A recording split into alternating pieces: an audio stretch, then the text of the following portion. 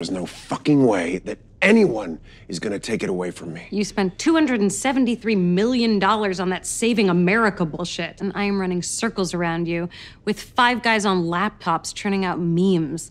I practically pay them with Arby's gift cards. You, you can't win the whole country anymore.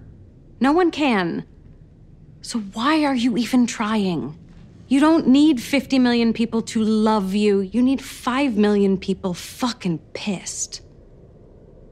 Emotion sells, anger sells. You have fans. I have soldiers. Look, I know that you probably won't believe this. I think that you are the best of us. I think that you are everything we should be. You just need a little help connecting with your audience. You know, change with the times. God knows I did.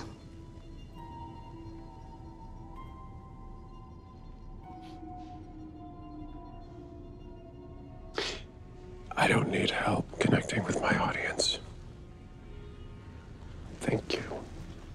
Okay, well, just know I'm always here. Door is always open for anything.